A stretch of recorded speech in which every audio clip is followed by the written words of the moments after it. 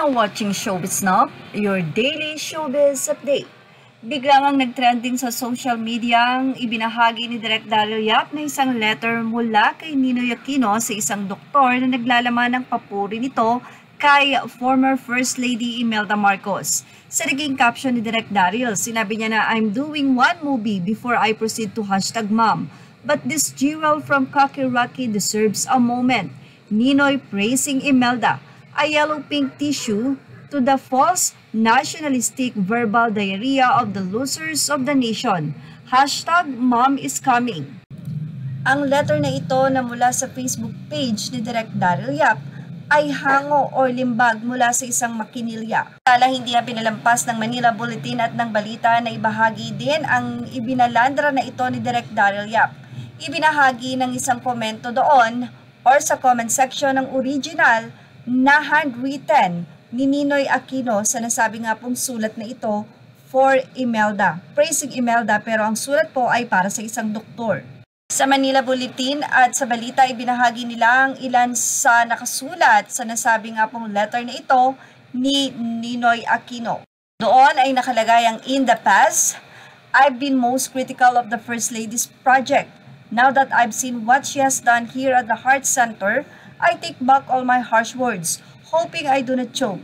Mrs. Marcos deserves all the credit for giving our people such an institution like your heart center. It is indeed ironical that one of her bitterest critics would be a beneficiary of her foresight. Samantala, narito naman ang original na letter kung saan ay handwritten makikita nga doon ang sulat kamay ni Ninoy Aquino. Mula sa naging post na ito ng Manila Bulletin, tignan naman natin kung ano ba ang say ng mga netizen.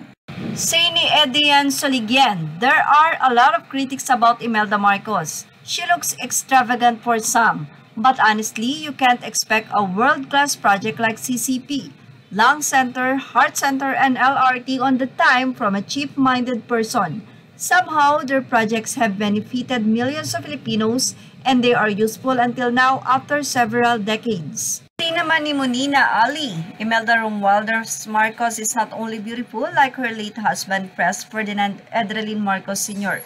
She is a visionary with her eyes set on what is good for her country and people. Unlike her critics and opponents who has nothing but hatred and endless arguments without any service or contribution to the upliftment and development of our country and the Filipino people. Ito pa ang naging say ng isang netizen, wala pong utang ang Pilipinas noong pong rehimen nitong si Ferdinand Marcos. Sila ang may utang sa Pilipinas, tayo ang may-ari ng World Bank. 161 countries po ang natulungan ng gold reserve ng Marcos Wealth, kaya sobrang respeto nila sa mga Marcos family. Siyempre, ang mga anti-Marcos, pinagtawanan ang say na ito. Pero hindi may kakailan sa ilang taon or sa halos napakahabang panahon na naging presidente ni President or former President Ferdinand Marcos ay napakarami naman talagang naitayong magaganda sa Pilipinas at maraming mga Pilipino, lalong-lalo na sa mga probinsya, ang talaga namang natutugunan ang kanilang mga pangangailangan sa kanilang mga health centers at barangay. Ibig sabihin na didistribute talaga ng maayos noong panahon ni Pangulong Marcos. Dahil nga siya ang uh, namumuno sa mga susunod-sunod na taon, eh ang mga project niya ay talaga namang kanyang naipatayo.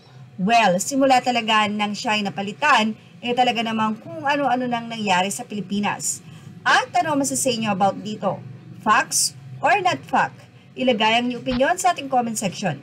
Images are all credit to the rightful owners and thank you for watching Showbiz Now.